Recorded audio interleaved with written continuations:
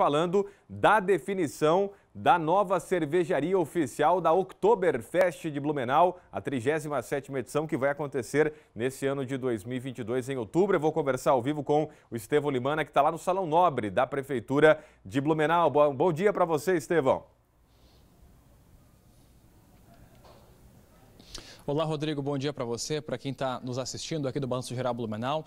A coletiva ah, de imprensa para o anúncio da cervejaria oficial terminou agora há pouco. A Ambev, pela 28ª vez, então, será a empresa responsável por ser a cervejaria oficial da Oktoberfest deste ano e também da Zomerfest no ano que vem.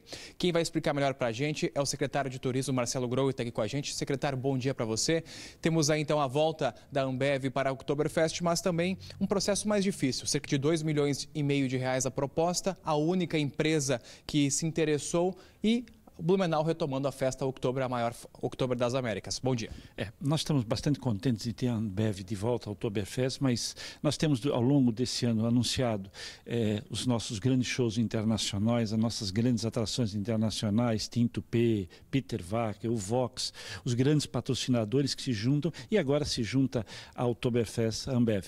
É a Ambev que já tem uma história dentro desse evento, uma história marcante com mais de 27 edições e essa sendo a 28ª e a gente está muito contente, muito feliz, mostrando a força que a Oktoberfest tem, a marca Oktober, a força de Blumenau, e isso só vem se incorporar, a Ambev se incorporar esse grande esforço dessa retomada. Secretário, além de ser cervejaria oficial, qual é a outra contrapartida, vamos dizer assim, que a cervejaria vai ter aqui em Blumenau? Bom, são várias contrapartidas, a começar pelo, pela decoração dos pavilhões da Vila Germânica, palcos, enfim, são uma série de, de, de ações que a própria cervejaria vai vai é, fazer durante a Oktoberfest, que quase que duplica, duplica esse valor de, de patrocínio. Enfim, é um, é um grande trabalho, é um trabalho que já começa na próxima semana com, com a Ambev, junto com a, a direção da Oktoberfest, para que a gente possa, e não tenho dúvida nenhuma de afirmar, fazer a grande Oktoberfest, uma das maiores de toda a nossa história. Secretário, alguns meses atrás nós tivemos o processo de licitação também para a cervejaria, mas que foi cancelado, não teve nenhuma empresa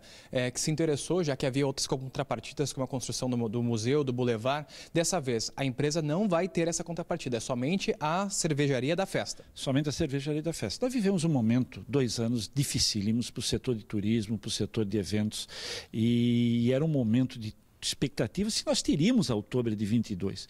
Então, logicamente, nós mudamos o nosso, a, o nosso modelo de licitação para um ano, para que a gente possa é, buscar agora, com a retomada, um novo modelo de licitação para as edições a partir de 23. Ok, secretário Marcelo Grou, obrigado pela participação. Está aí as informações, Rodrigo. Logo mais à noite, no de Notícias, a gente vai trazer uma reportagem completa com todo esse histórico do processo licitatório e também as demais informações a respeito da cervejaria oficial da Oktoberfest 2022 e da Zomerfest 2023. Eu volto com você. Obrigado, Estevam Limana, né? E só para é, complementar as informações aqui do Limana, que falou ao vivo lá da, da Prefeitura de Blumenau com o secretário Marcelo, a Ambev agora, né, que é uma grande empresa, aí, a maior do mundo até em termos de, de cervejas, né? Tem várias marcas aí, ela ainda vai definir qual vai ser o chopp oficial, a cerveja oficial.